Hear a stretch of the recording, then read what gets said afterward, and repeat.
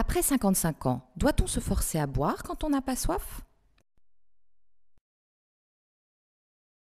À partir de 55 ans, comment garder la santé en mangeant et en bougeant, un guide gratuit à demander au 0821 22 22 21.